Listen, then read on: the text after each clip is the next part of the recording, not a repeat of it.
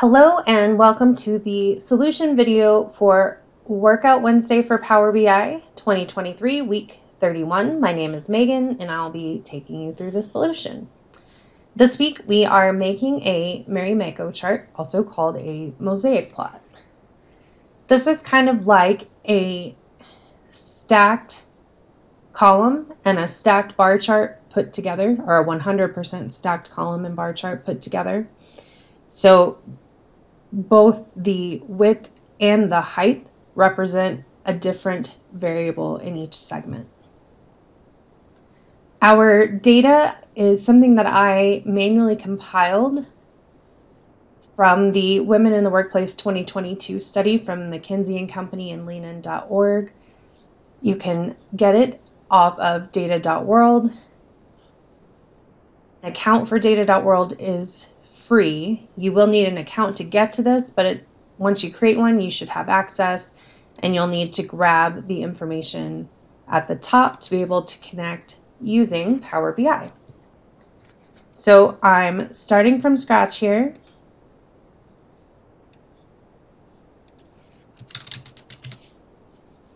And I'm going to use my data.world connector.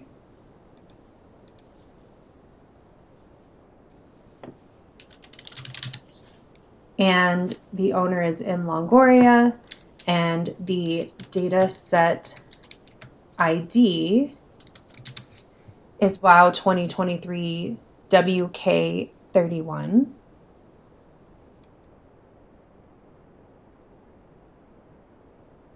It will ask you to sign in.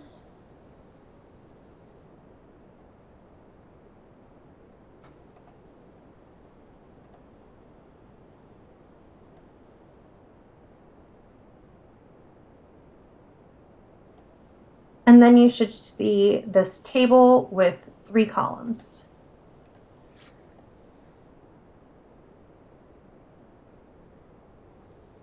And the first thing I'm going to do is select the level column and transform it just a little bit. So I'm going to capitalize each word.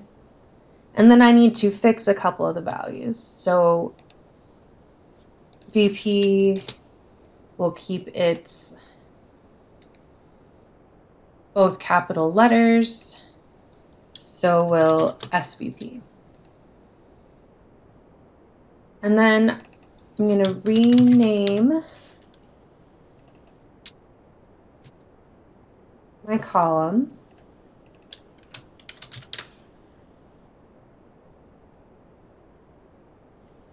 And in my visual, I'm showing women versus others. So we need to know for the other.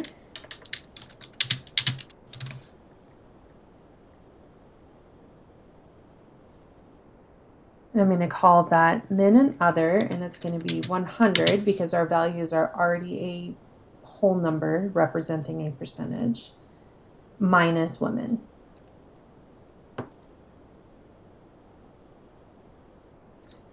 I'm going to take these last two columns and unpivot them. And I'll rename to gender and percent. Fix that to a whole number there. And then because I want my levels to match this particular order, which is not alphanumeric, I'm going to do a little trick here. So I'm going to sort descending. Oh, I have a typo. Let me go that real quick.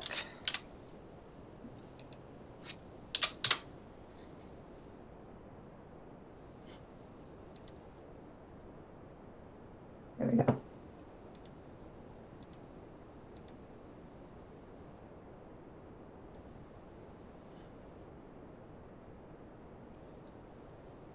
Okay, So I've sorted. And then I'm going to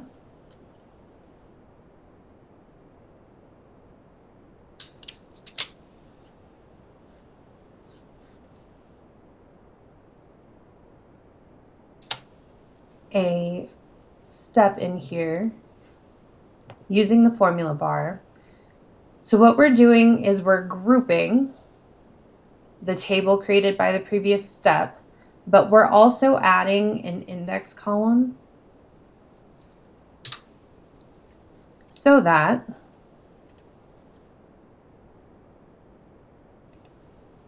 I don't need to include gender because it's already there. When I expand all of my rows out, I get this level rank column. And so it's going to make sure entry level is 1, C-suite is 6 within each gender.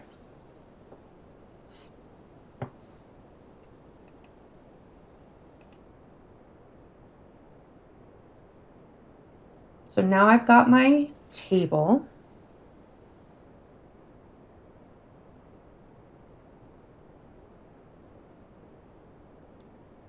Forgot to rename it there. Women in Workforce is a better name.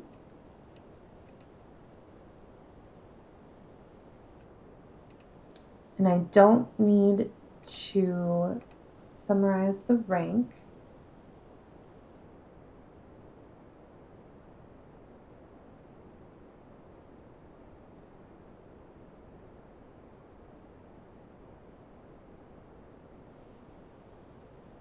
And I'm going to set a sort by column for level.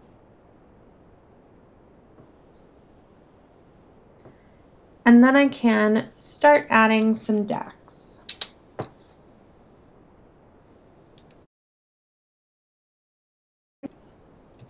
We need just a few DAX measures to make this happen.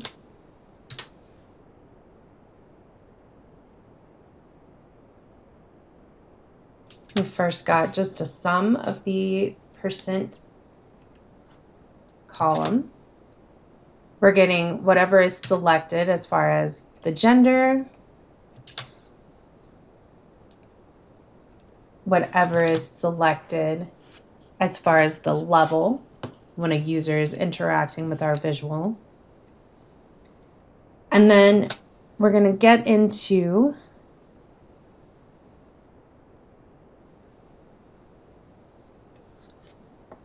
a few more DAX measures that help with the description. So this one gets the level distribution.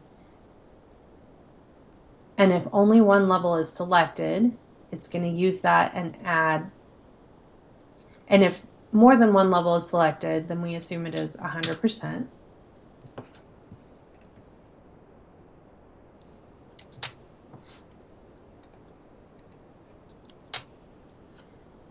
This one is where we start building sentences to describe what's going on. So it might say women make up X percent of all entry level jobs based on what the user has selected in our visual. And if they haven't selected anything, this one is blank. This one is slightly different. So if something is selected, it works in a similar manner, but for levels. If nothing is selected, we leave instructions for select a segment in the mosaic plot to the left to, to, to learn more about the representation of women versus other genders in the corporate pipeline.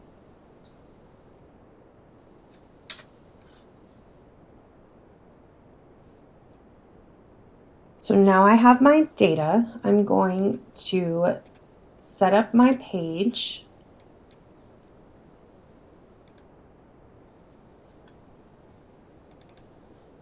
I used a background image.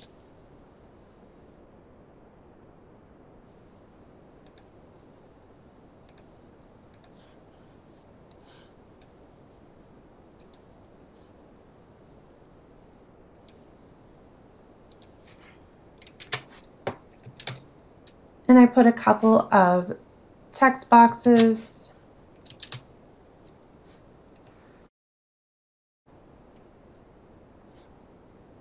at the top. I'm going to go fix my theme real quick.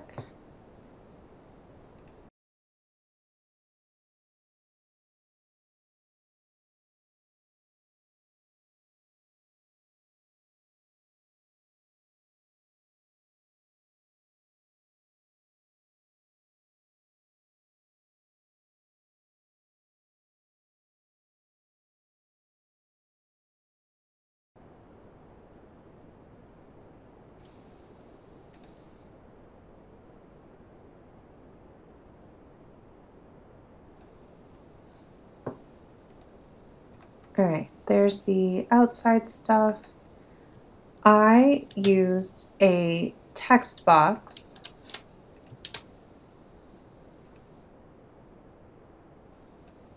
for the title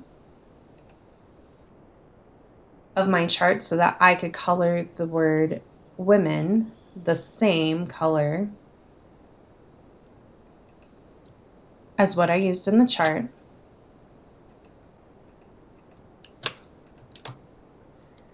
And then I used another text box, which will populate in a second, um, to give that description on the right once a user has selected something. And I just put a white background with some transparency over it so that it will stand out a bit. And we're going to go get our Mekko visual. I did use a custom visual for this. It's made by Microsoft.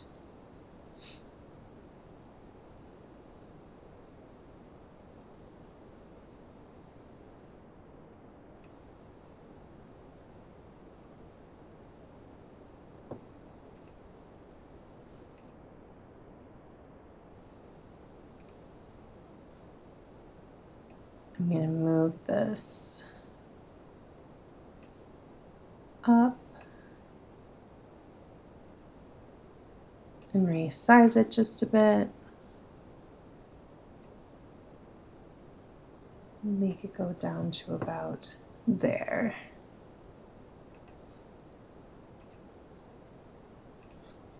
So to populate this, I'll use level gender,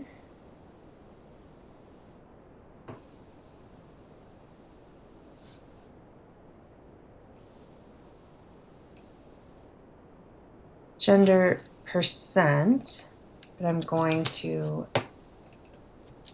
rename it just slightly here.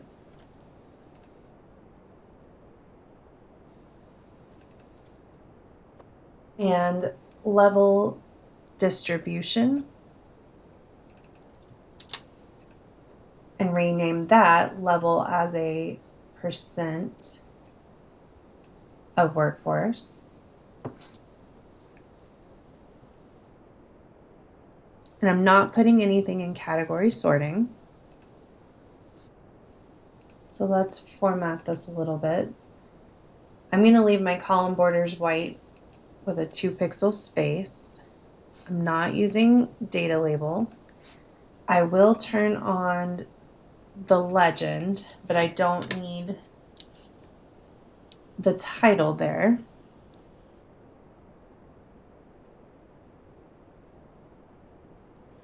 And so before I turn this off, you'll notice when we get into the smaller sections, uh, it stops labeling and truncates. And I don't like that, so I'm going to make my own labels with text boxes so that I can place them. And I decided I don't really need the y-axis. I need to turn off the title first.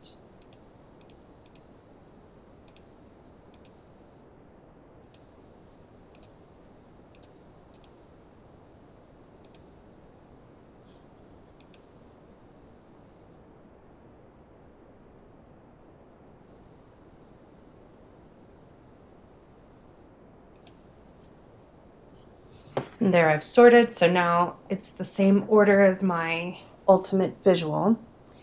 But again, this is entry level. We want people to be able to see that this is C-suite. So here's what I did. I just used text boxes to make, I'm to pull this down a little bit, to make my labels. And because there's not enough room, which is why the original labels were being truncated, I placed C-suite lower down so you can still see it. It has a further horizontal position so you can mentally associate it with that last segment. But I liked this better than not having labels because the labels are kind of the point of the visual.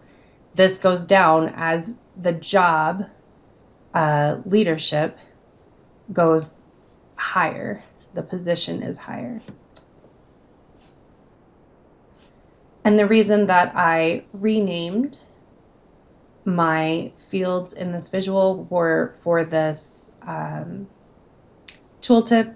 It looks better, is is a better explanation there.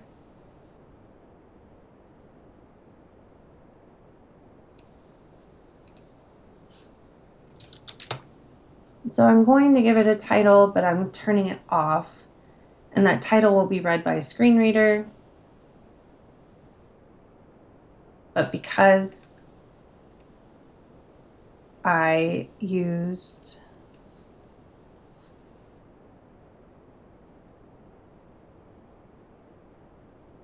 a text box, I don't actually want it to show up. Let me raise this up a bit so I can get the tops of the bars in line with this description.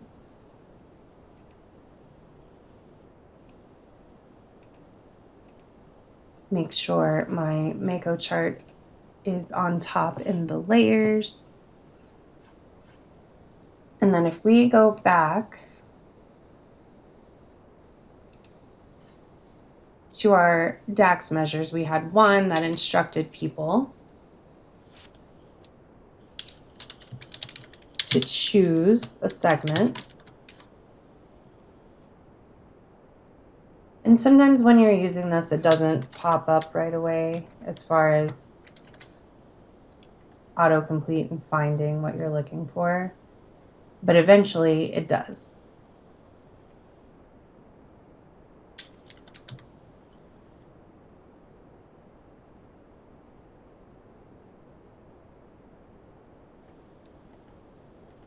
This is text, so I really don't have to worry about formatting. There we go.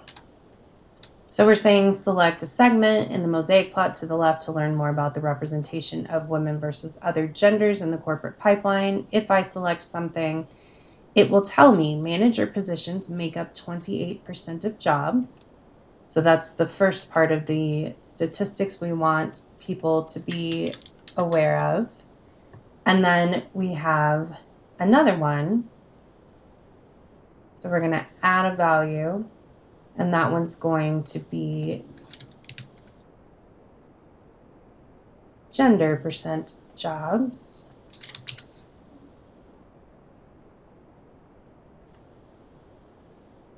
So I've selected senior manager and men. So now I get senior manager positions make up 12% of jobs, men and other make up 64% of senior manager jobs. And if I unselect, the bottom one is blank, which when we're not in desktop will show up blank instead of this icon. And the top one tells us to select a segment.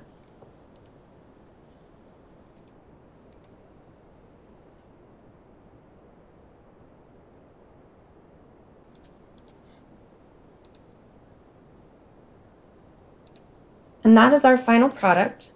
Of course, we want to make sure that we check for accessibility issues. I've already checked my colors.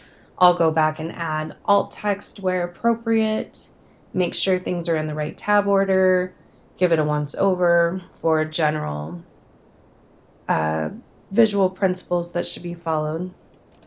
But now we've made a mosaic plot or Marimekko chart. Thank you so much for watching.